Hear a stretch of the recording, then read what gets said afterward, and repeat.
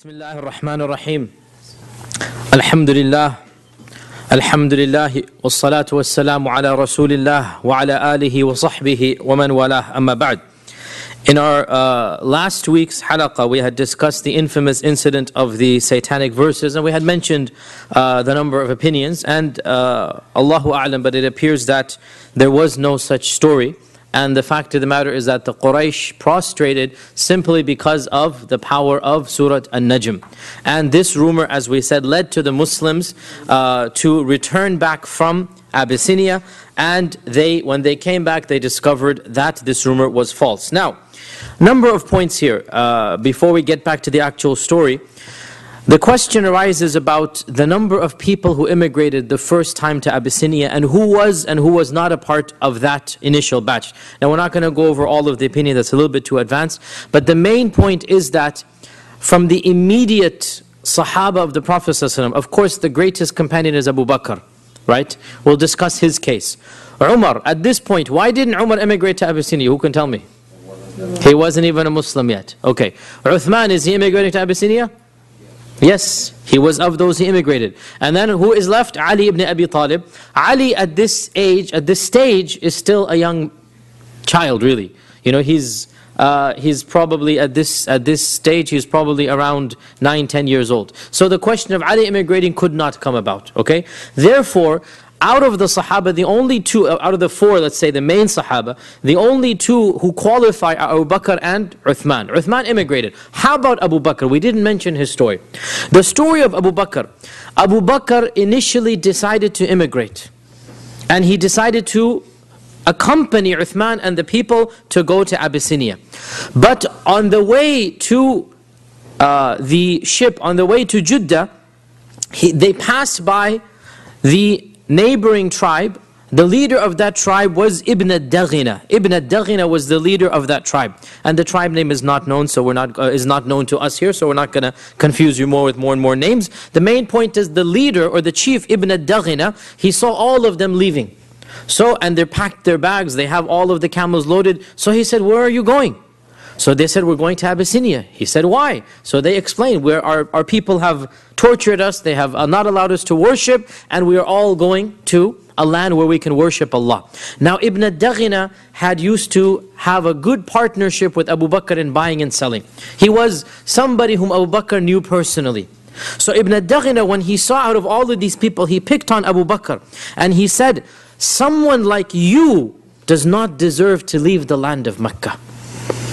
And if your people have persecuted you, then let me intercede on your behalf. And let me go and talk to them and give you my protection. Now remember, the whole Jahili system is based on who's going to protect who, right? And the tribe of Abu Bakr has basically accepted that they're not going to protect Abu Bakr anymore, okay? And so Ibn ad-Daghina said, let me go and negotiate on your behalf. And maybe they'll take my protection so that they're not going to harm you. And so Abu Bakr said, okay, let's give it a try. So Abu Bakr and Ibn Daghina returned back. The rest of the Sahaba emigrated to Abyssinia. And Ibn Daghina entered Mecca and he approached the Kaaba and it was the time that everybody sits. As we said many, many times, they had an afternoon time where basically when it's everything is over in the day, you come and you sit in front of the Kaaba. And Ibn Daghina announced that, O people of Mecca, would you accept it if I offered my protection to Abu Bakr? Now notice, he cannot do so instantaneously because it's the land of Mecca. And Ibn Daghina is not from the Quraysh, he's from another tribe right? And so it's like a neighboring country saying, this is our citizen, can he live amongst you? And he has our rights. It's as if he's my tribe member. So this is an adoption, if you like, right? So Ibn Daghina said, I'll adopt Abu Bakr, let him live amongst your own people. Like basically, imagine America going to Canada, the Canadian government saying to America that, okay, look, forget his American citizenship, pretend he's a Canadian, right? That's basically what's happening here. That Ibn Daghina is saying that let me offer my protection to Abu Bakr, but then he needs the permission of the Quraysh. Are you going to accept? And Ibn Daghina was a trading partner. Ibn Daghina was the chieftain of a neighboring tribe, uh, the, the tribe that is next to, to Mecca. And so they basically had to agree because it's a neighboring tribe. And they wanted to just make him happy. So they said, okay, we will accept your protection for Abu Bakr. And therefore Abu Bakr did not emigrate because of Ibn Daghina. However, they said to Ibn Daghina, They said to Ibn Daghina, we're only going to allow this with one condition. And that is Abu Bakr cannot pray publicly. Because Abu Bakr was of the elite of the Quraysh, and before this, he would pray in front of the Kaaba. And he was of the few people who was brave to pray in front of the Kaaba. Everything changed with the conversion of Umar. When Umar converted, then Muslims could pray in front of the Kaaba. Before that time, you had to be a really brave person. And it was really only the Prophet who would regularly pray. Once in a while, Abu Bakr joined him. So they said, you have to, we're not going to allow Abu Bakr to pray publicly. And if he agrees to this, we'll agree to your protection that he can do as he pleases in private, but not in public.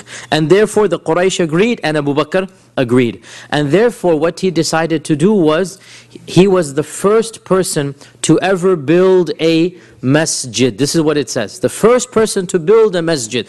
He didn't build a masjid structure, he basically extended his house and he made a room into his place of worship right? Because they didn't allow him to worship publicly, so he decided to make a public masjid, right? He's using the loopholes here. So he builds an extension of the house and he begins praying in that extension. And he prays out loud because it's his house and the condition was he can pray in his house, right? So he's basically reading through the lines here. He builds an extension, he makes a masjid, and then he starts praying out loud in his house, which is a now a masjid. Obviously, what's going to happen? The people, Abu Bakr's tilawa was a very gentle tilawa. And Abu Bakr's recitation of the Quran was a very melodious recitation. And Ibn Ishaq says, the women and the children would gather around in amazement listening to Abu Bakr's recitation because it was a, a beautiful recitation. And uh, his own daughter Aisha tells us that Abu Bakr kana rajulan bakka'an. He was a man who very easily began to cry. And he would weep from the fear of Allah. And so when he recited the Quran, he would cry and he would beg Allah for forgiveness. So it's a very emotional uh, recitation. So the people began to gather around his house every time he's praying. You know, it's a small city, it's a quiet time at night. You're reading uh, Fajr or Maghrib or Isha or Tahajjud. Anybody walking by can hear you. You know, it's dead silent. It's not like the city. You know, it's like the houses are far, far away. It's a small, you know how it used to be in those days. Many of you might remember from back home, still houses are small, narrow alleyways. So Abu Bakr's recitation is going five blocks, let's say. right? Because that's what a block is for them. You know, each houses are there. So people began gathering outside of his house. Now, technically, the condition was he could read in his house. And that's what he did. But this got to a point where they sent a messenger to Ibn ad-Daghina. And they said, we have to take back our condition. He cannot even pray in his house. SubhanAllah. We have to take back our condition. He cannot even pray in his house. You have to tell him to stop praying even in his house. So Ibn Daghina came to Mecca when the messenger came. Ibn Daghina came to Mecca and he said to Abu Bakr that, Oh Abu Bakr, uh, I have no choice except to ask you to stop praying even. Or allow me out of this protection because I can't give you that type of protection. Right? You have one of two choices. That you either stop praying or I can't protect you anymore. Obviously, I don't need to tell you which one Abu Bakr chose, right? So he said, I throw back your protection to you and I accept the protection of Allah. I throw back your protection to you that you're free now, you have done your job, I, you, you did it now, you couldn't you know, stand up basically because Ibn Daghina didn't fight at all, he just basically agreed. And in one sense we understand because it's not his territory, it's not his, and he's really going out of his way to help Abu Bakr. So Abu Bakr said, okay, you know, Thanks but no thanks. Take your protection back and I trust in the protection of Allah. And after this, he was in Mecca without any protection other than the protection of Allah. And that is why uh, I told the story two weeks ago that when Abu Bakr came to protect the Prophet they almost beat him to death. And nobody lifted a finger because he was not under anybody's protection. Right? I told you the story two weeks ago that somebody came and tried to choke the Prophet. Abu Bakr came and, and pulled it out and I said, Allah? Are you going to kill a person just because he said Allah is my Lord? And they began beating him until he was uh, the equivalent of hospitalized. He was immobilized for more than a week and he could not move in his house because of the severity of beating. How could they get away with this even though Abu Bakr was Qurashi? Because his own sub-tribe had basically withdrawn and Ibn Daghina had withdrawn. So now he is a homeless person. And he's living at his own risk and he continued to live at his own risk until the Prophet ﷺ, uh, emigrated to Medina. Now we already mentioned that around uh, 14, some say 15, some say 16, some say 17, between 14 to 17 people emigrated. Allahu alam, the strongest uh, opinion would be 12 men and 5 women. So that's a total of 17. 12 men and 5 women. So we heard, we, we talked about the fact they heard the rumor, they came back. As they're coming back, they're eagerly asking, have the people of Mecca accepted? Have the people of Mecca accepted? They're waiting for a caravan to get the news before they get to Mecca. The first caravan they meet, they ask. And the people of the caravan said, you have heard false. This is not the case. The people of Mecca are as they were, and the, the, the new religion is being persecuted. And so this jolted them, this was a big shock for them, so much so that some of them said, let's just go back. Before entering Mecca, let's just go back. Now can you imagine, put yourself in their shoes, Mecca is right in front of you, right? This is your homeland, your relatives, your possession, everything is there. Literally, you're just one step away. And now, debate occurs, should we go back or not? Until obviously, emotionally, psychologically, they said, look, we're so close, let's just go back and see what the situation is like, right? Life would have been very tough. As we said, imagine a different culture, a different language. They don't speak Abyssinian. It's a whole different land, whole different environment. It's much worse than we can imagine. And I forgot to mention one point when I mentioned this issue, that subhanAllah, one of the punishments of Islamic law, which is no longer practiced pretty much anywhere in the world because the world has changed. And this shows us sometimes change is permissible. One of the punishments of Islamic law for certain crimes is called at-taghrib. At-taghrib means leave your land and go somewhere else. If you're from, let's say, uh, the Hijaz, go live in the Najd. If you're from the Najd, you know, go live in Syria or someplace, right? One of the punishments for certain types of petty crimes, right? That you're not going to be whipped, you're not going to be jailed, just go live somewhere else for a year. That was a punishment. Wallahi, in our times, that's not a punishment, it's sightseeing. Right? This is a vacation. You're telling me to go for a year, it's a vacation. Okay. So look at how times have changed. That to leave your society, to leave your land, was a type of punishment. And so the Sahaba had to self-inflict this punishment when they went to Abyssinia. When they come back, they decided, okay, let's just go see what is happening in Mecca. Now, when they left Mecca, they had basically again I'm speaking in modern equivalent, they had canceled their passports. They had renegated from their tribe because that's the whole point now. So when they go back in, they cannot just expect the same protection. So each one of them has to find new protection. Each one of them has to find a new sponsor. Like what's going to be my entry visa to get into Mecca? And we have some stories about what happened here. Uthman ibn Mad'un. Uthman ibn Mad'un one of the famous Sahaba, and he has a lot of stories in the seerah, and he died an early death uh, in one of the battles of Shaheed. Uthman ibn Mad'un reached out to Al-Walid ibn al-Mughira, the same one who is the famous poet, because he had a friendship with him. And Al-Walid ibn al-Mughira agreed. And so Al-Walid marched with him and they publicly announced, this is how they enacted treaties, they publicly announced, Al-Walid said, I have given my protection to Uthman ibn Mad'un. And so Uthman remained completely protected. Walid is one of the most powerful men in Mecca. We already said Allah revealed verses in the Quran. This is the father of who? Khalid ibn al-Walid. This is the father of Khalid, right? This is the one whom Allah reveals Surah Muddathir. ذَرْنِي وَمَنْ خَلَقْتُ وَحِيدًا وَجَعَلْتُ لَهُ مَالًا مَمْدُودًا وَبَنِينَ شُهُودًا All of this Allah is talking about. This is al-Walid. The one who فَكَّرَ uh, وَقَدَّرَ He thought, what am I going to say about the Prophet ﷺ? And then he said, this is a strange type of magic. This is Al-Walid, one of the most powerful men, rivaling Abu Jahl. So Al-Walid gave protection to Uthman. And because this is Walid, Uthman, not a hair on his head was touched. Now, Ibn Ishaq says, when Uthman would go back and forth in the city, and he would see the Muslims being persecuted, and he would see that he himself was untouched, his guilt began to get the better of him, even though he's not doing anything wrong. And he said, how come they are suffering and I am in safety? How come they are suffering and I am in safety? So one day he went to Al-Walid ibn al-Mughira and he said that, oh my uncle, Walid is a senior man, elder man, oh my uncle, please take your protection back. Rudda alayya your jiwar is called the protection. Just take back your jiwar. So Al-Walid said, my nephew, what has happened? Has anybody harmed you? Is, have I not done my, my service? I mean, is anything, you know, why do you want to return? It's a very obviously big thing. You know, why do you want to return it? So he said, I cannot bear to see my fellow brothers and sisters suffer while I have this freedom. SubhanAllah. Look at, now there's nothing sinful per se about, uh, about uh, Uthman's situation. But his conscience was so strong, he said, why do I have, just because I have a friendship with Walid from the days of Jahiliyyah, now he's protecting me. How about the rest of the people? How about Ibn Mas'ud? How about Bilal? How about even the other uh, uh, people who returned from Abyssinia and who didn't get the protection I got? It's not fair. And so he voluntarily returned Al-Walid's protection. And Al-Walid came and to the Kaaba and he said that, O people of Mecca, Uthman has asked that I return his protection to him.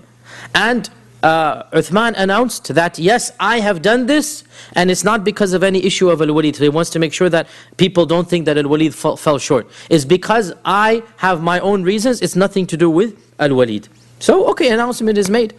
They're not going to just jump and attack on him. I mean, okay, the announcement is made. Now he comes walking back, and he passes by a very famous poet who was visiting Mecca at the time.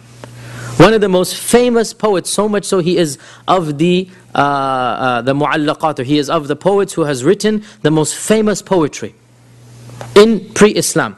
And uh, he is one of those poets who eventually accepted Islam. Eventually, right now he's not a Muslim. He's one of the few of the mighty poets, if you like, who eventually accepted Islam. His name is Labid. His name is Labid.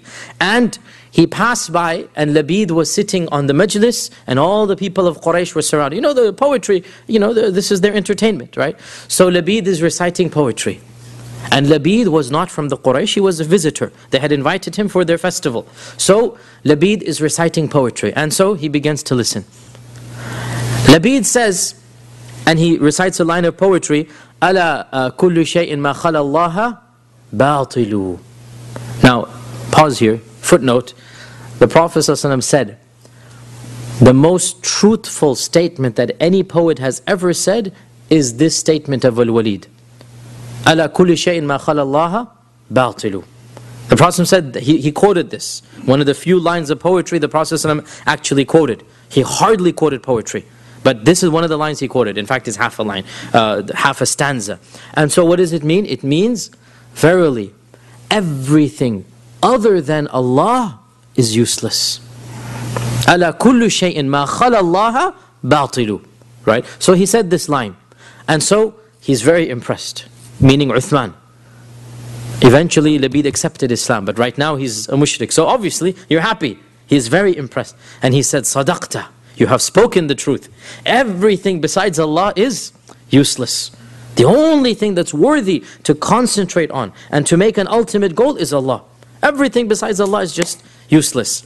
And then he said, وَكُلُّ نَعِيمٍ And every single blessing, لَا مَحَالَةَ زَائِلُ Without any doubt, it will disappear. Every enjoyment will disappear. Now, Uthman's heart had gone so high that what a beautiful line of poetry. Then he said something that he didn't agree with. So he said, كَذَبْتَ You have just lied. Because Jannah will never disappear. Right? This is, yani the, the, the, the, the line of poetry is that everything besides Allah is useless. And every pleasure, there is no doubt about it, will come to an end. And here Uthman said, no, you're lying. The pleasures of Jannah will never come to an end. Now this is in a large, you imagine this, you know, this is the dignitary, this is the VIP, right? All of the Quraysh around him his, he has just withdrawn his protection, right? And right then and there, literally on the way back, because they had the, the Nadi over there, on the way back, he utters this statement. And Labid gets irritated. I mean, he, he is the guest of honor here. And he said, since when have you treated your guests with this matter? I mean, if you stand up and, you know, a speaker has come from another place, since when have you, this is rude. I am your guest, you've invited me to recite my poetry and now, now he doesn't know what's going on obviously. Labid doesn't know that Uthman is a Muslim and he doesn't understand all of this, right? So he considers Uthman a heckler in the audience, right? You understand this, right? And so he says to the Quraysh, since when has this become your custom that you heckle your, uh, your, your, your visitors? And so somebody stood up in anger and gave him a hard smack and basically gave him a black eye. And his left eye became completely swollen and he went home and when Al-Walid heard, Al-Walid came rushing to his house and said, my nephew, why did you, why did you get rid of my protection? I mean, I could have, you know, it's, it's foolishness. Come, come back with me, I'll give it back to you. I mean, you see what's happening here. And so uh, uh, Uthman responds that no, this is not a problem at all. Verily, and this is a classic line of, of Uthman, he said, Verily, my other eye is now in need of the blessings that this eye has gotten. My other eye is jealous now.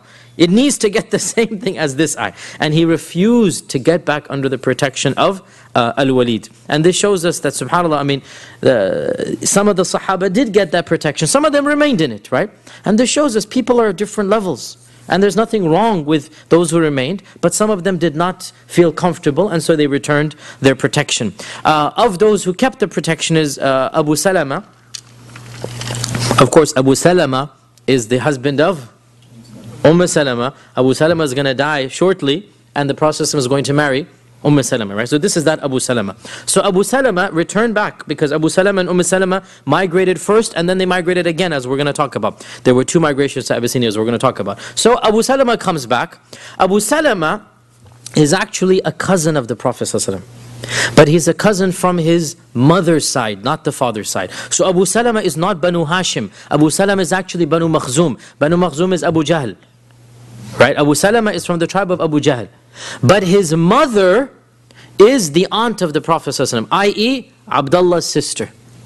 Right? You guys following? Abdullah's sister is Abu Salama's mother. So, Abu Salama doesn't want to reach out to Abu Jahl. I mean, come on, Abu Jahl's not going to give me protection. So who can he reach out to? His uncle from his mother's side. Who is? Who is? Abu Talib. Abu Talib, right? Abu Talib is his mother's brother. So he sends a message to Abu Talib that, look, can you basically sponsor me? You know, can you get me into your tribe, basically protection? So Abu Talib said, of course, yes. Now, what do you think Abu Jahl is going to do when he hears that somebody else has taken one of his tribe members? Who do you think you are? So, a delegation comes from Banu Makhzum to the house of Abu, uh, Abu Talib again. You're interfering in our politics. This is our guy. Right? Who do you think you are to offer him protection? Because it's a matter of honor, it's a matter of snubbing their nose, basically, right? And so Abu Jahl and others, they get angry at Abu Talib. And Abu Talib said, well, if I'm going to give protection to one nephew, meaning the Prophet Muhammad why can't I give protection to the other nephew? Meaning Abu Salama. I mean, if I'm going to protect one, why can't I protect the other? And so they were not, they were not going to budge and they surrounded his house and an argument broke out. And then Allah brought about a solution from a source we would never expect. Abu Lahab. Abu Lahab stood up and he said, have you not irritated this old man enough? I mean, Abu Talib is a senior figure. You know, he's an elderly person. Abu Lahab is now feeling compassion for his brother, not because he loves the Prophet ﷺ, but just as a brother. Because after all, they are brothers, you know. And so he stood up and he said, have you not irritated this old man enough? Let him be, utrukuhu. Come on, let him be. How much are you going to pester this guy? Let him be. For wallahi, if you're going to continue, then I'm going to have to force my side. I'm going to choose him. This is Abu Lahab speaking right? And he's not speaking out of a love for Islam. He's speaking out of his love for his tribe and the protection of his chieftain, right? And as we said, that type of love is not going to help you in Islam.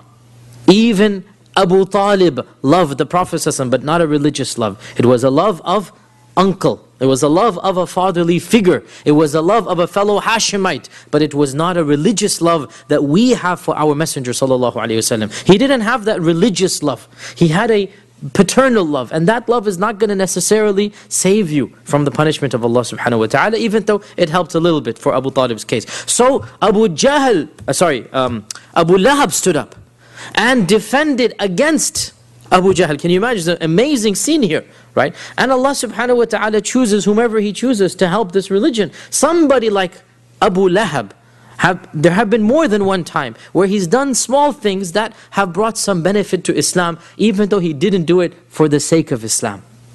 And our Prophet ﷺ said in Medina many years later, he said, Verily, Allah can help this religion from a kafir, from a pagan.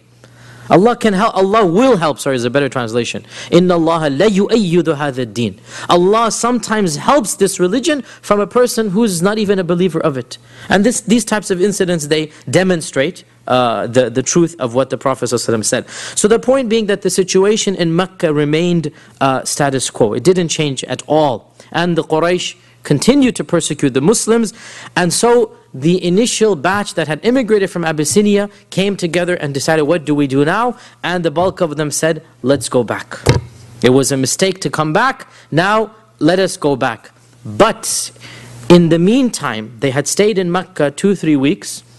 And the news spread amongst all of the Muslims about how good life was in Abyssinia, at least in terms of physical harm. Yes, it was difficult culturally and language and uh, climate, but not hostile. And you know, in the end of the day, you know, if you're living, uh, as we said, the two best blessings that Allah gives, الَّذِي أَطْعَمَهُم مِّن جُوعٍ وَأَمَنَهُم مِّن خَوْفٍ Right? These are the biggest blessings that Allah gives after Iman. And they had that in Abyssinia. They had food and they had safety. These are the best blessings. And so when they heard this, a large percentage of Muslims. We don't know how many Muslims were in Mecca at the time. It's not, there were no census, but it is probably correct to say that at least 30-40% of the Muslims of Mecca, if not 50%, decided to immigrate. Now that's a huge number, right? Yani half of your people are now leaving. Half of the Muslims are leaving. It's a huge number. And so, it is as if, and this is my opinion and Allah knows best, the wisdom why Allah allowed these early Muslims to come back only to return was so that the bulk of the Muslims or a large group of Muslims would then be convinced to travel to Abyssinia. Because as we all know, the number one way to be convinced is what? Word of mouth. Word of mouth. It's the number one way to actually be convinced. My friend told me, right? That's the number one way. And there was no other way that so many Muslims would have emigrated to Abyssinia. No way. Unless Allah allowed the very Muslims who benefited to come back, tell the people status quo, and then people were convinced. And so, for the second immigration, more than 80 Muslims emigrated. That's more than quadruple the number that went the first time. More than 80 Muslims migrated, and this time they were headed by Ja'far ibn Abi Talib, the direct, obviously, cousin of the Prophet sallallahu alaihi wasallam. Now, please note though, of that initial batch of 17, not all of them returned in the 80. 17 went and came back. Some of those decided to remain. The most famous person who remained, Uthman ibn Affan.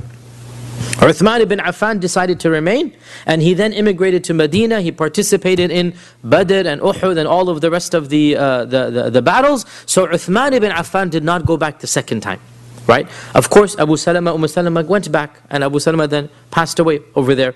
Uh, other Sahaba that did not go back, it is said that Mus'ab ibn Umair, the famous Mus'ab ibn Umair, who was the first to immigrate to Medina, Right, the first person who the Prophet sent to Medina because his own parents had tortured him the worst torture, his own mother and father. So the Prophet first sent him to Abyssinia, then when he came back he decided that he wanted to stay with the Prophet So he stayed with the Prophet but then within three years, before the immigration that he himself did, the Prophet he sent Mus'ab. As soon as the first batch of Muslims accepted Islam, the Prophet said to, to Mus'ab, go to Medina and you can live there. So Mus'ab also did not return to Abyssinia. Other Sahaba as well, some of them returned, some of them didn't. Now, when over 80 people, and Mecca at this time probably had only a few hundred people in it, right? So 80 people in Mecca represents more than 15%, 20% of the people of Mecca. It's a percentage of the city. Remember, Mecca is not a thriving metropolis. It is composed of, and I said this way back in the beginning, when we say tribe,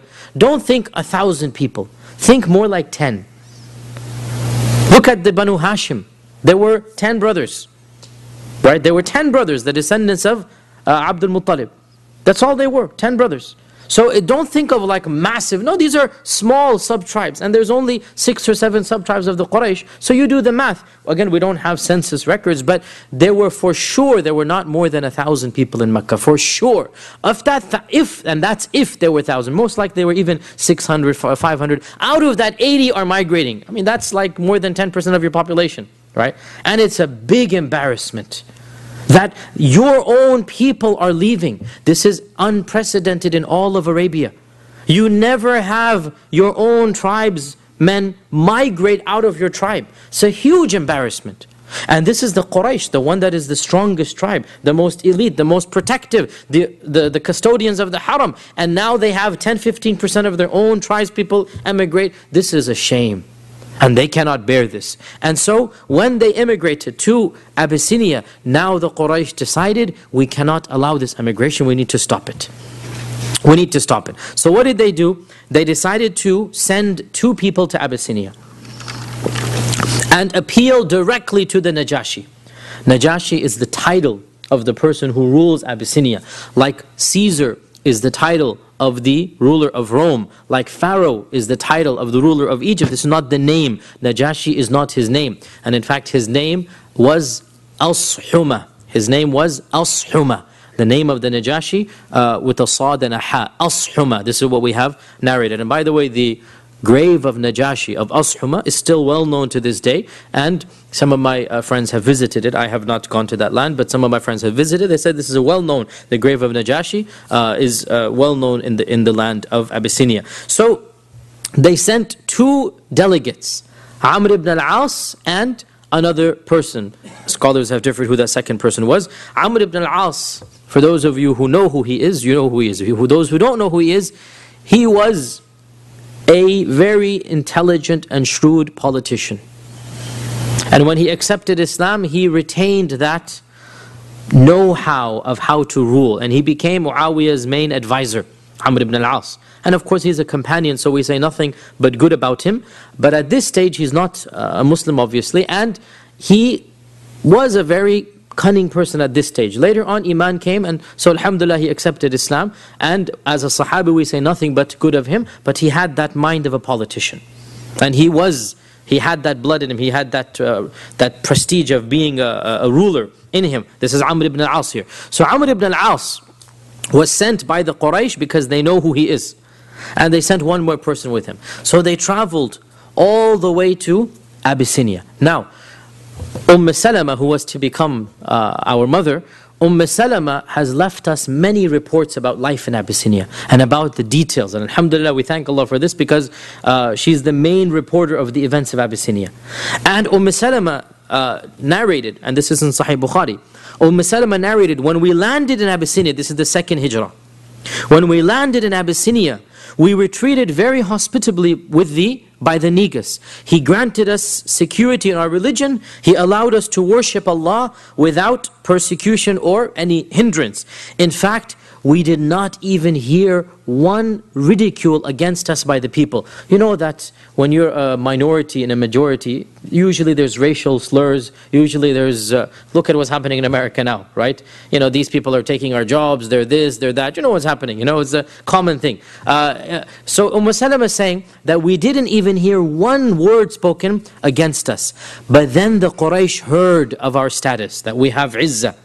And so they plotted against us and they decided to send two strong men. By strong, she meant people who would do their job, not physically strong. That two strong men. And they gave them precious gifts. They loaded them with gifts.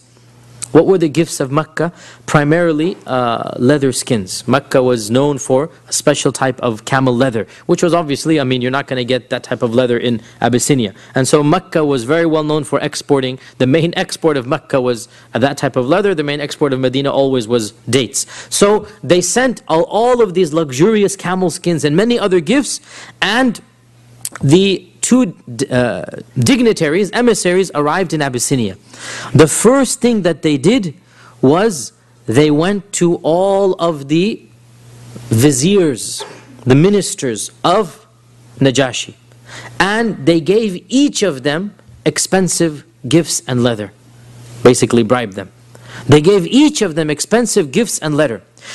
And they said to them that we have in your midst a group of renegades and rebels. And we will speak to the Najashi tomorrow about their case, and we want you to hand them back to us and support us in this cause. So basically, this is open bribery. Okay, this is open bribery. And so make sure that you help us out in this regard. When we give the Negus his gifts, remember our gifts to you because they're going to bribe the Negus tomorrow. And subhanAllah, look at the hatred really of the Quraysh here that they can't even bear to see the Muslims live in a foreign land. It affects them that they have so much uh, freedom. So the next day they approached the Negus and they said, Some foolish youth from amongst our nation have emigrated to your country. They have left our religion and they have not embraced your religion. They've invented a new religion. They have left our religion and they have neither embraced your religion nor any of the other religions that we are aware of. And the leaders of our community have sent us to you in order that you hand these young foolish people back to us so that we can deal with them because we are more knowledgeable of their faults than anybody else. And so they presented the Negus with lots of fine gifts and incense, and they presented them with all of these uh, leather uh, goods. And subhanAllah, this is the reality of, in our times, we call this lobbying, basically, right? In our times, we call this lobbying, that you go and you give politicians money. And when you give them money for their campaigns, for their funds, and this is perfectly legal in this land, as you know. It's perfectly. In fact, that's the way the system works, right? And subhanAllah, just as a comment here, it's not directly related to the seerah, it's a comment here. SubhanAllah, our religion is so perfect that our Prophet ﷺ before all of this modern system came about, our Prophet ﷺ strictly forbade what we now call lobbying. Strictly, with the most harshest words. You're not allowed to give a public servant money.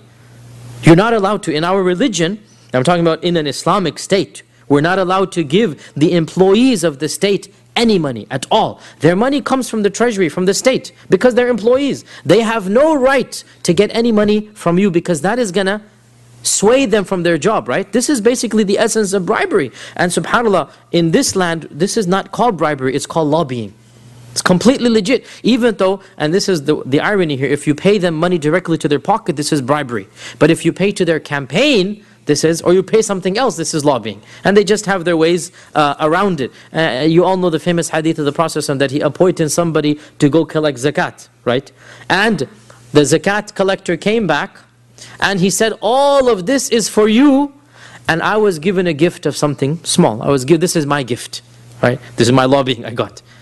The Prophet became so enraged that he stood up and he called the people to come to the masjid and he gave a khutbah in the middle of the day, not on Friday. He gave a khutbah about this.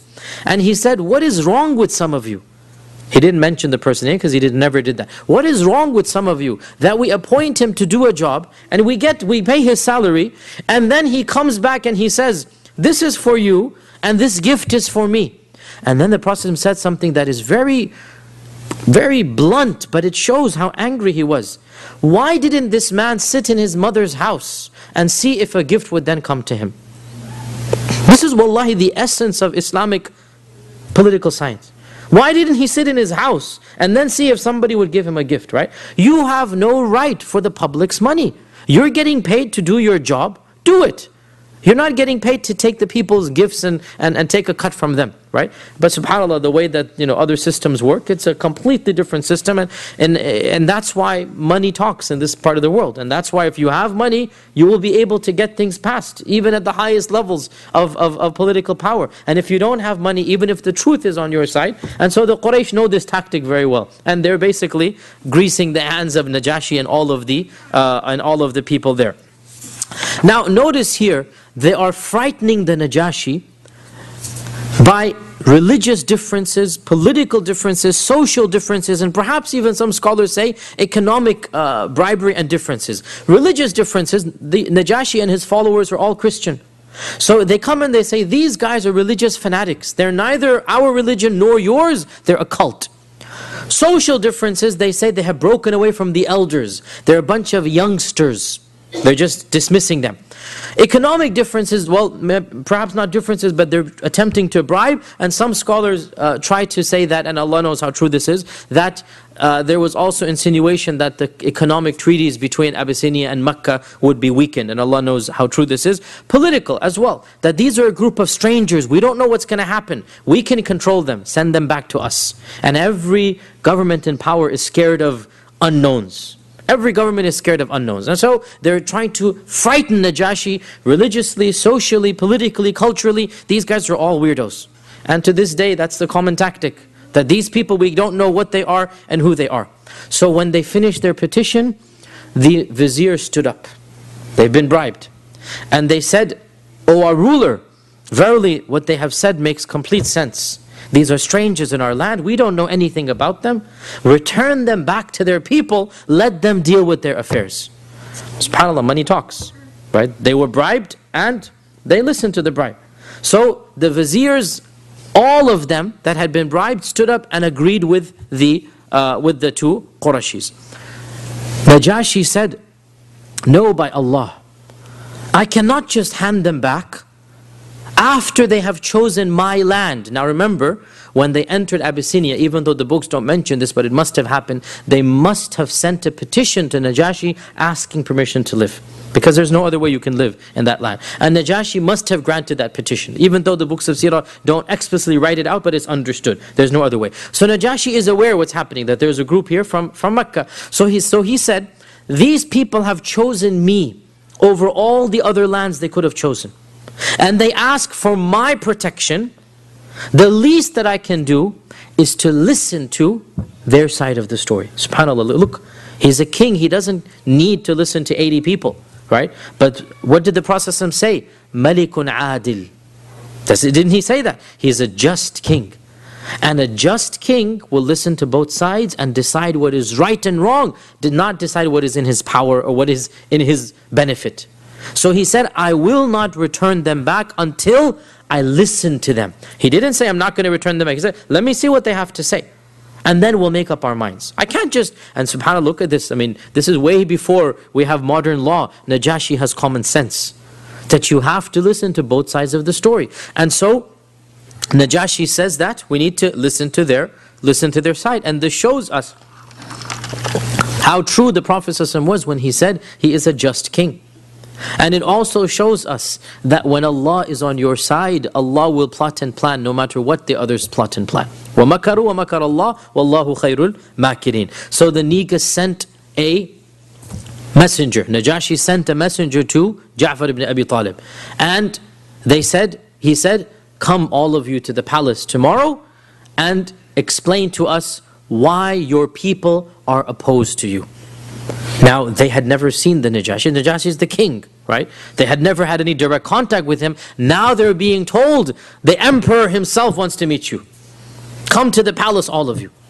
And so they became frightened, which is only natural. And they said, what are we going to say? What are we going to tell him? And so Ja'far said, we will only say what our Prophet told us to say, and we're not going to change the truth no matter what happens. I will speak the truth.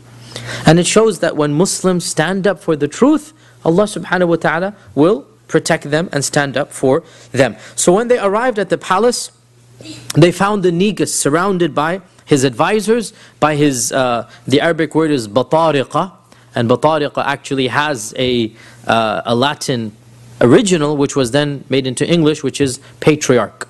Uh, the word patriarch is from batariq, it's the same thing. So the patriarch, patriarchs are uh, basically the senior figures of the religion.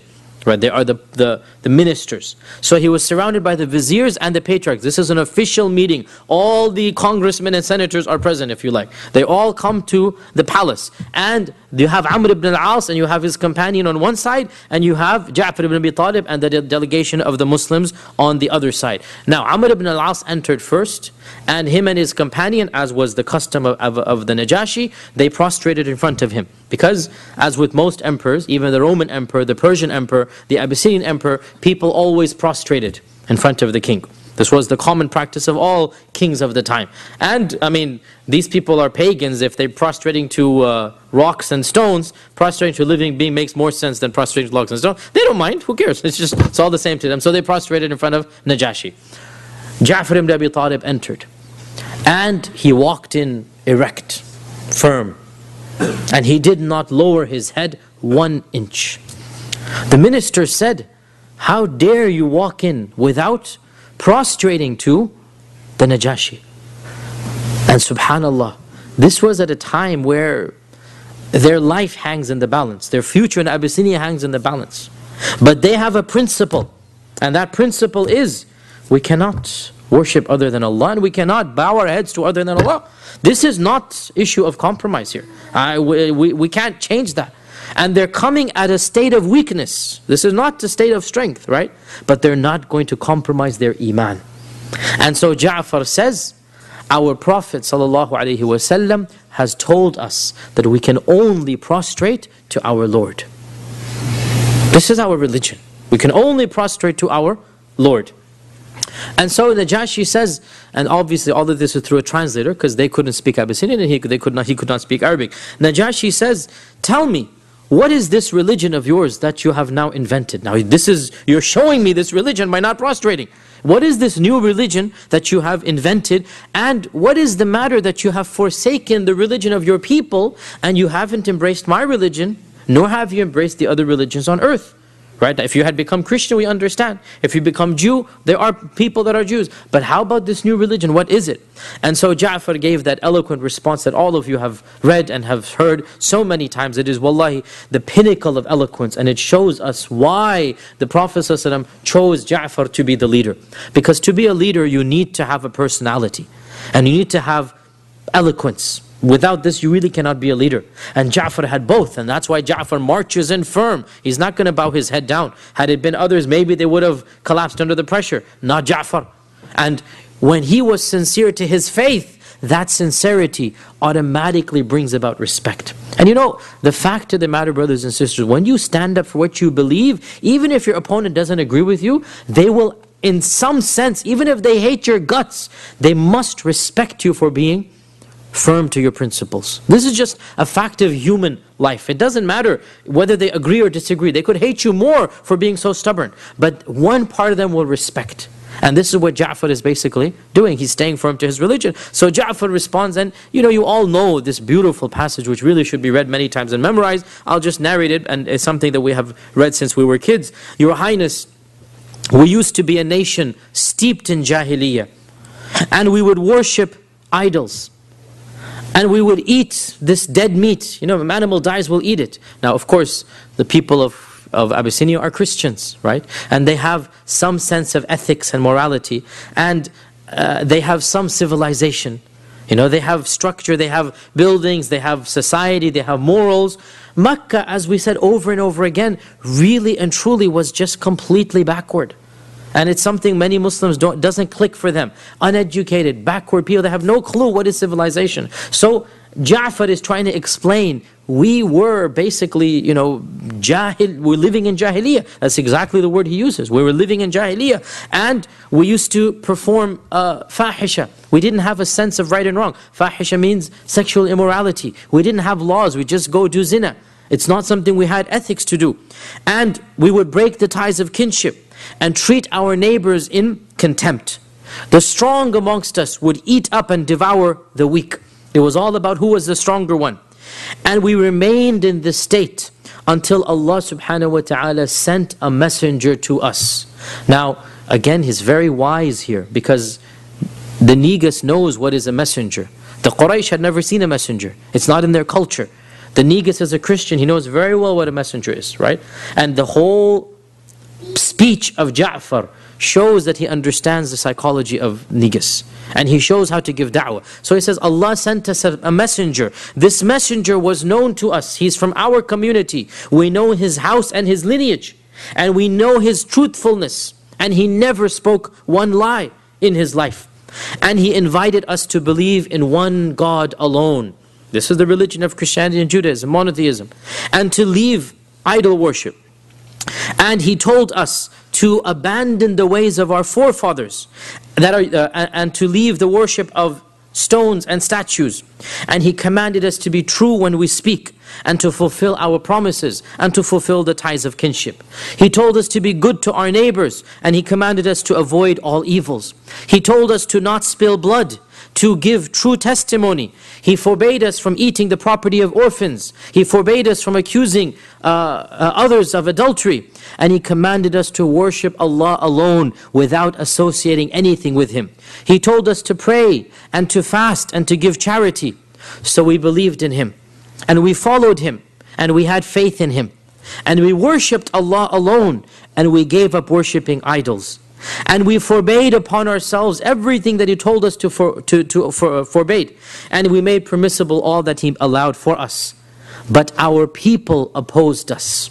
And they showed hatred towards us. And they tortured us. And they punished us. And they tried to force us back into idol worship. And they were unjust to us and they made life miserable. And they prevented us from being who we were.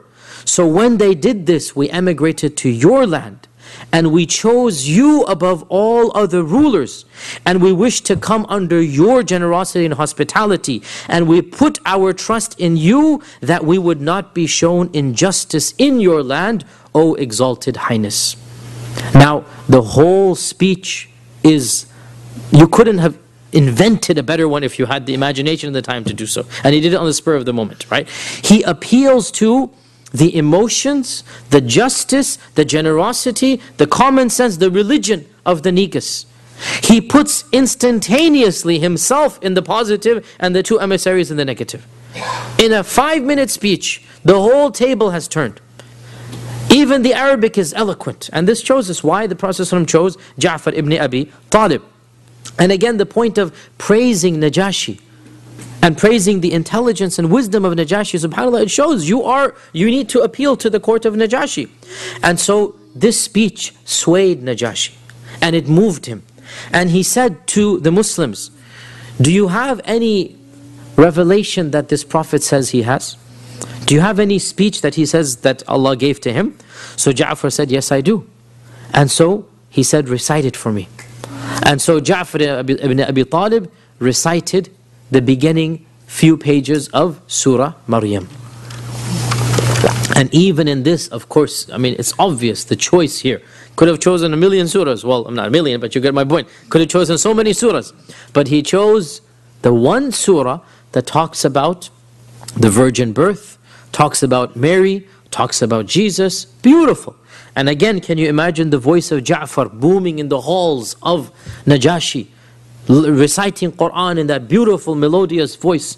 All of the priests and ministers, all of the, the, the, the, the elite people are hushed and humbled. And the walls of the palace are reverberating with that tilawa, which must have gone on for at least 10 minutes, 15 minutes. Do the, you know, do the math, as they say. Three and a half pages of Surah Maryam would be the story of Jesus, right? And he's reciting all of it. It's not just a one minute thing here. Imagine, again, put yourself in that shoes for 15 minutes. Beautiful tilawa. And obviously, it is said, Ibn Ishaq himself says this, that even the, the, the Batariqa, even the patriarchs, without even understanding what was being recited, they were moved to tears. I mean, this is the Quran. And we believe the Quran has this impact. And so even the patriarchs were moved to tears. And Najashi himself began to cry. When it was translated to him, he too began to cry. And then he said, I swear by God, this recitation, this tilawah, and the messages of Moses and Jesus have sprung forth from the same fountain. This is the same source. And he spoke to the two emissaries and said, Go away from me, because I'm not going to hand these people over to you, and I'm not even going to think about it, basically. Don't even think about handing these people back. So Amr ibn al-As and his companion exited in humiliation. And as they were leaving, Amr whispered over to his companion and said, Don't give up yet. I have one final trick. Tomorrow, I will come back and bring one final trick out of my hat.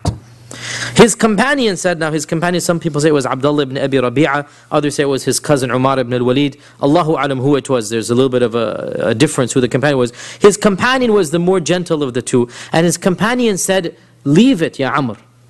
Khalas, leave it. Yani we tried, we failed. Because look, even if we don't agree with them, in the end, they are our relatives. I mean, realize this is your cousin, your brothers, your uncles, your nephews. They are our relatives. I mean, leave it alone from now. But this is Amr ibn al-As, and at this time he's not a Muslim. So Amr said that no, one more attempt, just wait tomorrow. So the next day, they sought permission again. And the Niga said, what do you want? We already decided. And you're not going to get them back. And so Amr said that, Oh, Holy Emperor, we forgot to mention to you one thing, that they say something blasphemous about the God that you worship, Jesus Christ.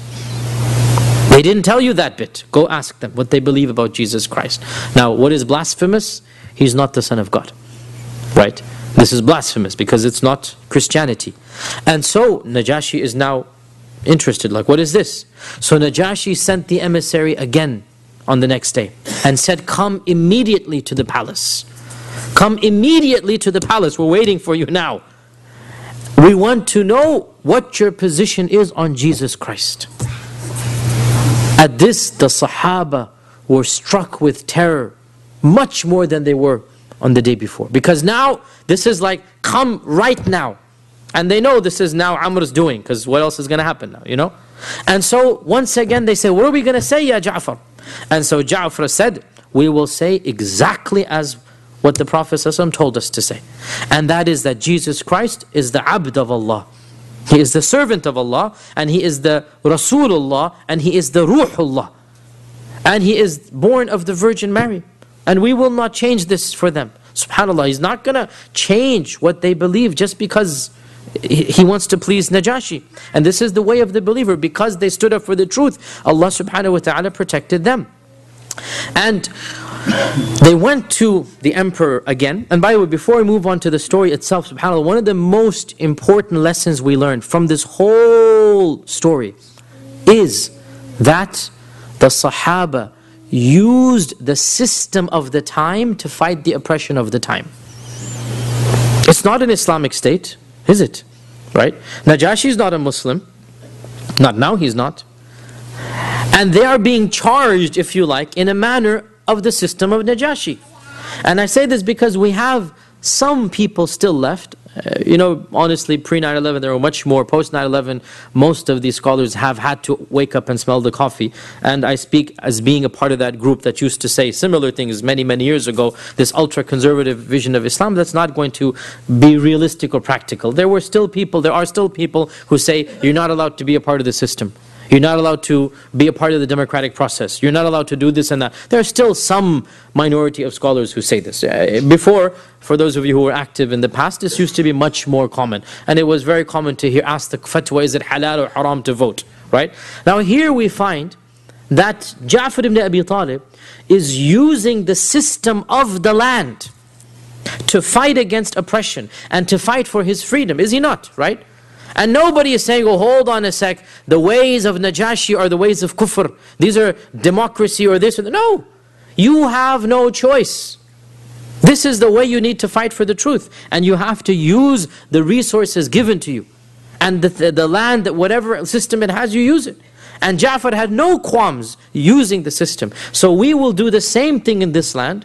We will fight against oppression through the courts, through the media, through the public pressure. The same opportunities that everybody has, we too have them. And we must do so like Ja'far ibn Abi Talib did. Ja'far used his opportunities, we need to use our opportunities. And therefore, Ja'far ibn Abi Talib said that we're not going to change the truth. And so they come back to the uh, Najashi, and Najashi is a bit irritated. And he asks them, what is this that I have heard that you have a blasphemous opinion about Jesus Christ? So Ja'far said, your Royal Highness, we say exactly what our Prophet said. Now notice he said this phrase multiple times. And this also shows us that he's trying to impress upon the Najashi, I am remaining firm to my principles. This is what I believe. And he's quoting what is an evidence for him, and Najashi should understand that it is an evidence for him. And we should also not be embarrassed to say the same thing. Why do your women wear hijab? Because our God told them to do so. Why do you pray five times a day? Because our book tells us to do so.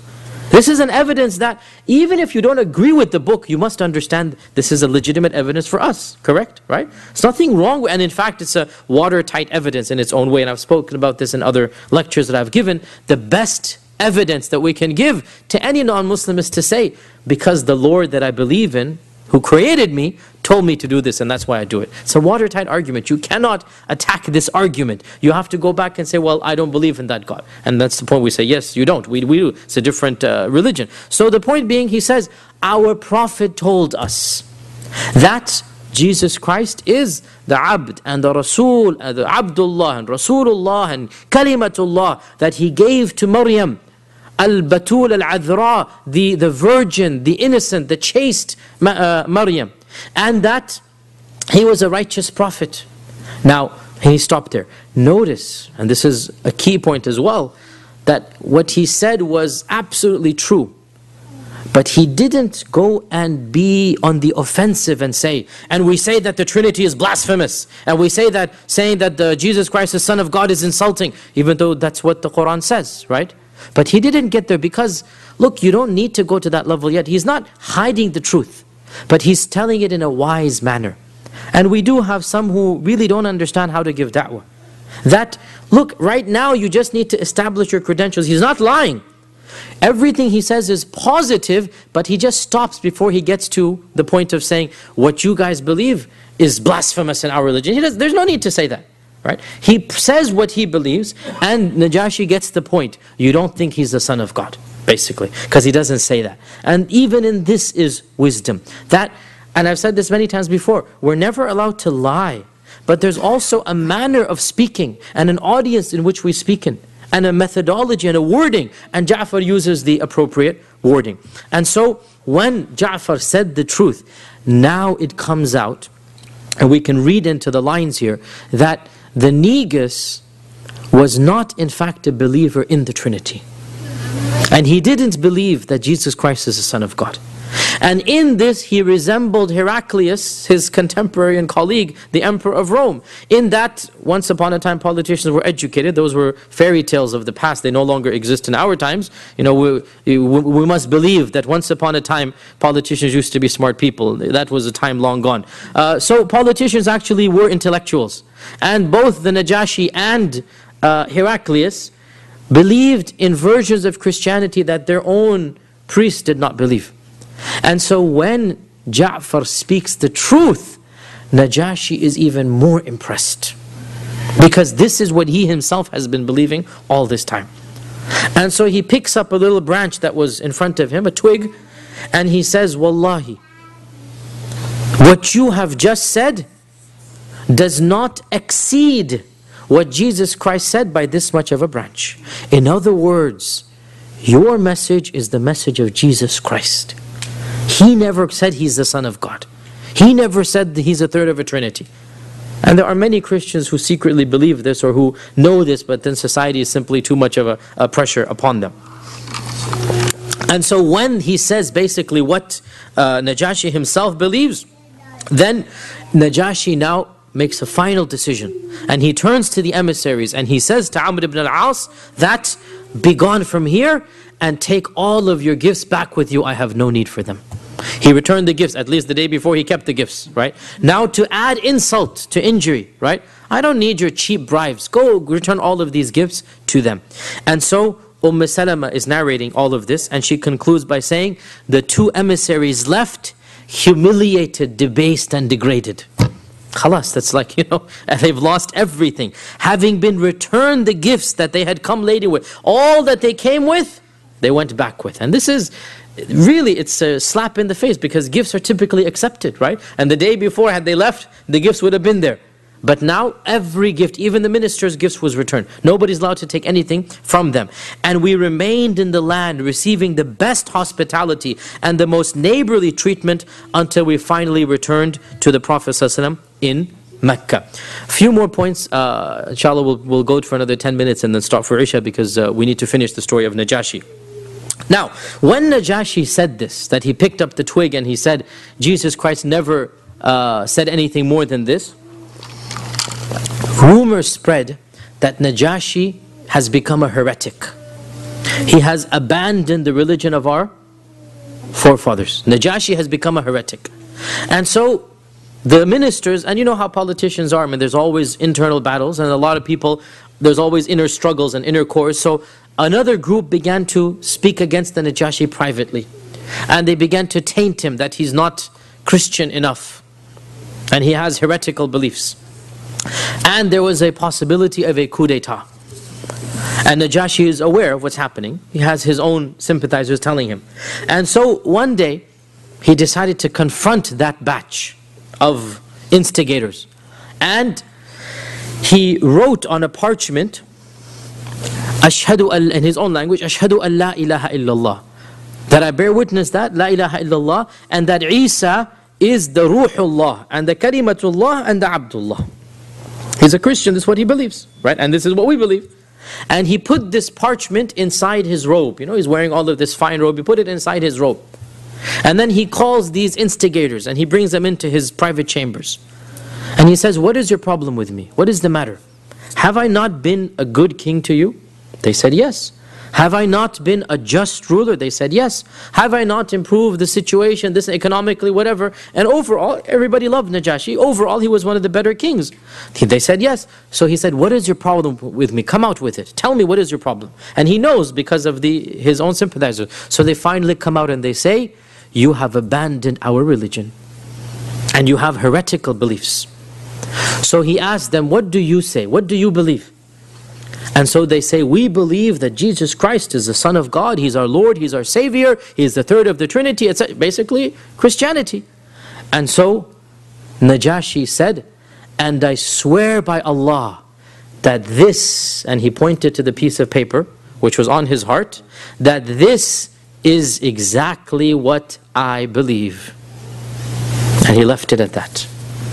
Now this is of course tawriya, complete double meaning, completely, he said something which is true, right? But the way they understood it is completely different, right? I swear by Allah, this is what I believe. And by this, he means what is in the parchment that is next to my heart, right? And so when he swore by Allah that this is what they believe, that he believes, the Christians were satisfied. Because, of course, what he had said before was, I agree with you, O Muslims, that Jesus Christ is not the Son of God, basically, right? And so when he said this, that that uh, internal struggle stopped. Uh, it is mentioned that before he had this meeting, he sent a messenger, secret messenger to the Muslims.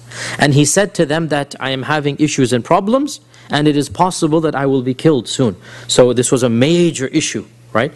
And if you hear news of my death, I have instructed one of my ships to be at such and such a place.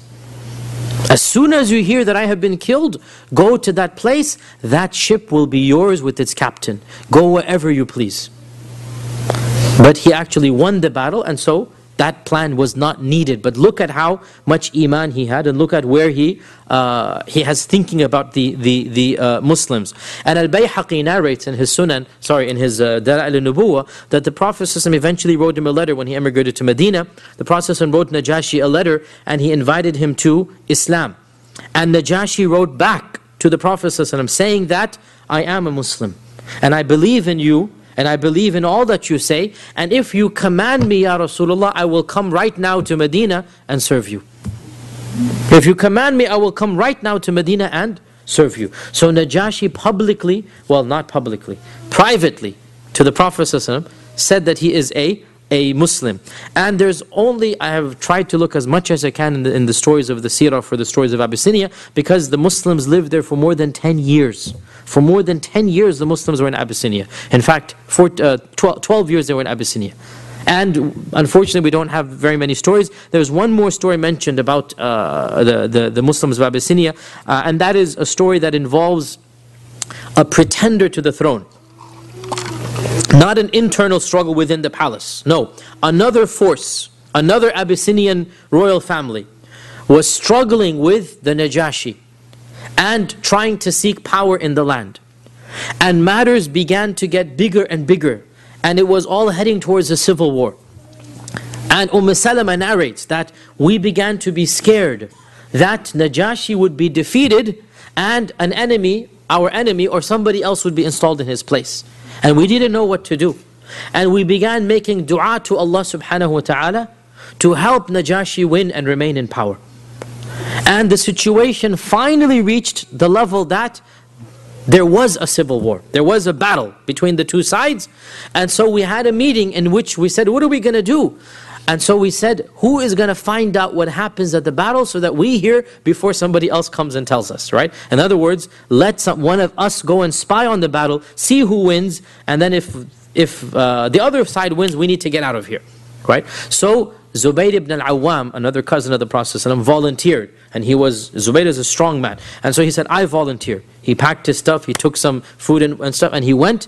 The battle was taking place, the books say, uh, on the banks of the river Nile. The Nile goes all the way down into Abyssinia. As you know, it's not just in Egypt, it keeps on going all the way down uh, to uh, into Africa. And so the battle was on the banks of the Nile. So Zubayr ibn al-Awwam camped on one side as far away as he could and he waited to see who would win the battle. And Umm Salama said, in the meantime, we were praying to Allah the most serious prayer. That, oh Allah, allow the Najashi to remain in power and give him tamkeen fil ard, give him authority in the earth. And Zubayr ibn Awwam came back in a few days with a great smile on his face and he said, Abshiru, rejoice that indeed uh, Najashi has won the battle and so he will remain in power. And this shows us as well that, uh, I mean, of course, in this era, it's black and white. Najashi is a secret Muslim. The Muslims know this. Najashi will support them. But one important point here Najashi and his contemporary were not fighting over Islam. This was not a jihad being fought. This was pure politics. Pure politics. And the Muslims sided with one over the other, emotionally. Right? Now, they couldn't get involved in any other way because they're not citizens of the land. This is not their war to be fought, right? This is not their battle. Let's extrapolate to 2011, soon to be 2012. There's nothing wrong when there's two parties in the land, one of whom is more sympathetic to Muslims, that you want that sympathetic party to win. And had the Abyssinian Muslims been in a position to help Najashi, do you think they would have not helped him? Right? Of course they would. And again, when you read the seerah, thinking about the modern world changes your whole perspective. It's a matter of survival. This is not just the American way, it is the Islamic way. That when you have an opportunity to defend your rights, to defend your freedoms, you must do so.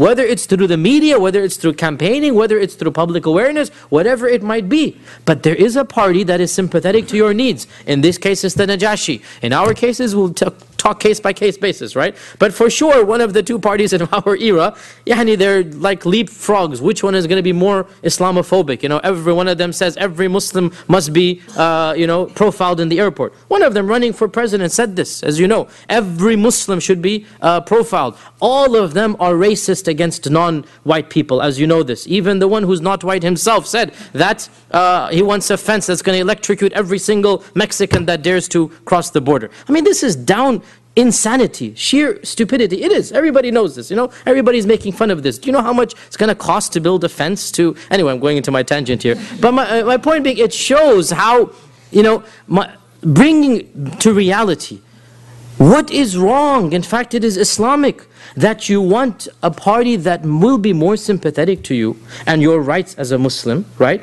That you make dua to Allah, that you facilitate the affairs, and more than dua. The Muslims of Abyssinia could not do anything more than dua because they're not citizens, right? They are foreigners, they're, they're on visa status.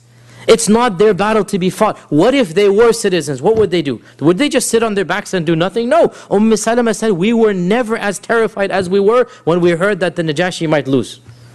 So they are desperate to get their freedom. Well, we are in similar, well, not, not that similar, but nonetheless, we have some types of similarities here. The final point, inshallah, and then we will uh, conclude, that Najashi eventually uh, died uh, a number of years later, and the Prophet wasallam, the Prophet wasallam came out one day in Medina, and he said, Jibreel has come and informed me that a pious brother of yours has died in a neighboring land. Before anybody could come and tell him, two weeks' journey, instantaneously, on that very minute, the Prophet was informed that Najashi has died. And he commanded the Sahaba to come and pray the one and only prayer that was ever prayed in the life of the Prophet ﷺ, Salat al Janaza al Ghaib. The only time ever in the history of Islam that the Prophet ﷺ prayed over somebody without a body being present. It's called Salat al Janaza al Ghaib. Never before or after except over Najashi. And I've written a long article on this, you can uh, Google it online, or I can send you the link, or maybe we can send it here, about the fiqh of praying Salat al Janazah over Ghaib. When should it be prayed? Uh, the four madhabs all have different opinions. The question arises why did the Prophet only pray over Najashi? Was it because A, he was a famous person, so that Anytime a famous person who helps Islam, let me say, a famous person who helps Islam, anytime a famous person who helps Islam dies, then the whole world should pay janazah al ghaib over him. Or was it because B, nobody in Abyssinia prayed janazah over him because he was a secret Muslim? And so because nobody prayed over him in Abyssinia, the Prophet prayed over him in Medina. Based on this ikhtilaf, the four madhabs had their own opinions, and even within the four you have more. And this, I have written an article about this, you can find it online. In my humble opinion, uh, the reason is because nobody else prayed over him. And that is because many famous Sahaba died in the lifetime of the Prophet and he didn't pray, and they died in either in battles or in other places, and he didn't pray janazah uh, over them. And therefore this shows, and Allah knows best, that we pray janazah, uh, salat al-ghaib, over people whose janazah was not prayed over. But if somebody has prayed janazah over somebody, then uh, it doesn't make sense to pray salat al-janazah ghaib. Nonetheless, this is a fiqh issue, nothing to do with seerah. I'm just saying as a point of interest. Inshallah, we have gone slightly over our time. Uh, we'll take some questions next week, inshallah ta'ala. Just remember them and write them down. Uh, and there's an announcement to make, and inshallah, we'll see you all uh, next week, inshallah, as well. So, go ahead. Yes? Can you just uh, give a little bit about the 10th of Muharram and the fasting and all that, just around the corner? Very pertinent question. We're already running late. Inshallah, we'll do a short salah as well then. This is, of course, the month of Muharram, uh, and it is the year 1433. And the month of Muharram is a very uh, special month. It is a month that the Prophet ﷺ has said, it is the only month that the Prophet ﷺ has called it the month of Allah. Uh, the Prophet ﷺ said, Shahrullahil Muharram. Shahrullahil Muharram. There is no other month that has been ascribed to Allah. Shahrullah al-Muharram. And Muharram uh, was chosen by Umar ibn al-Khattab to be the first month of the calendar year. You all know that the calendar year was decided by Umar ibn al-Khattab in the 16th year of the Hijrah. The 16th year of the Hijrah, uh, uh, one of uh, um, Abu Musa al-Ash'ari sent a letter to Umar and he said to Umar that, Oh Umar, uh, Ya Amir al-Mu'minin, your letter comes to us, uh, but we don't know when it was written and when you want us to do something by. There's no dates, i.e.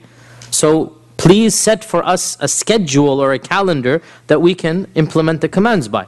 And so Umar said this is a great idea, so he called a gathering of the Sahaba and uh, he asked them, when, when, should we begin our numbering system? And there were many opinions uh, at the birth of the Prophet, at the death of the Prophet, and at the Hijrah.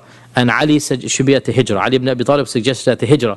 And he said because this was when Allah changed the situation of Islam from being persecuted to being uh, protected, from being humiliated to being at a state of izzah. It's the Hijrah. That was when things changed. So let's make the Hijrah the first year. Okay, the Hijrah is the first year. What's the first month? Because they didn't have a, uh, they don't have a first month, right? The, the, the 12 months, the names were in pre-Islam. But because there's no calendar, no month is the first month. So one opinion says Ramadan, because that's the holiest month. Another opinion says Rajab, uh, because uh, Rajab is the only of the four Ashhur al-Hurum that is by itself, right? Another says uh, uh, Dhul Qa'dah, another says, sorry, Shawwal. Shawwal because that's the first No, sorry, Dhul Qa'dah. Dhul Qa'dah, Dhul Hijjah, Muharram. Another says Dhul Qa'dah because the three holy months, there's four holy months Dhul Qa'dah, Dhul Hijjah, Muharram, and then Rajab by itself. Right? So one opinion was we choose Rajab, another opinion was we choose Dhul Qa'dah because that's the first of the three. Another opinion was Dhul Hijjah because that's when the Hajj takes place, because there's lots of opinions now. Until finally, it was Umar as well who suggested, and others then agreed. Umar said, It shall be Muharram. Why? Scholars have differed, the, the, but the riwayah, in my opinion, is very clear. The later scholars have said because in Muharram, Nuh was saved with the ship and Musa was saved with uh, uh, Fir'aun. This is all valid, but that's not why Umar ibn al-Khattab chose it. He said very clearly, this is because the Hujjaj return home, and so basically a new life begins for the Hujjaj. It's a very interesting point here, right? Yani when you come back from Hajj, you turn over a new leaf, right? And so by the Hijjah, when you're in Hajj, now you come home, that's when you change. So it should be when the Hujjaj return, and in those days, most of the Sahaba would do Hajj, right? I mean, this is Mecca, Medina. It's not like America and Timbuktu. It's Mecca and Medina. Most of the Sahaba are going for Hajj every year. So every year should be like a new beginning, basically, right? And so Muharram should be chosen as the uh, first of the year. Later scholars then tried to bring it back to the hijrah that the niyyah to make the hijrah by the Prophet was actually formulated in Dhul Hijjah. And so the first month that was seen was the month of Muharram. But again, this is reading back. What Umar himself said makes the most sense. So, I've gone into my tangent as usual, but inshallah you benefited with this. Uh, Muharram is a blessed month, it is a sacred month. Aisha said that I have never seen the Prophet ﷺ fast in any month other than Ramadan as much as, much as Muharram. And the Prophet ﷺ said that fasting on the 10th of Muharram forgives the sins of the year before. Don't get confused. Always the fast of the 9th and 10th of Dhul Hijjah, both years, back and forth. The 10th of Muharram is the year before. Only the year before, which is big enough. We're saying only, but the whole, the minor sins of the whole year. And on this day, as we know, Musa was saved from Fir'aun. Another version adds that Nuh's ship landed on Judi, on Mount Judi. Uh, Nuh's ship, alayhi ship was saved on Judi, and Fir'aun was destroyed on this day. And as for the sad event that happened in Karbala on that day, it is a time of sadness, there's no question about it, but it has nothing to do with the 10th of Muharram being sacred. It was just a coincidence that it happened on that day, and our heart bleeds for the evil that happened, but it has nothing to do with the sacredness and sanctity of that day. That was made sacred before what happened uh, at that instance. And so inshallah, I remind myself and all of you to fast on the 10th of Muharram if it is possible to do.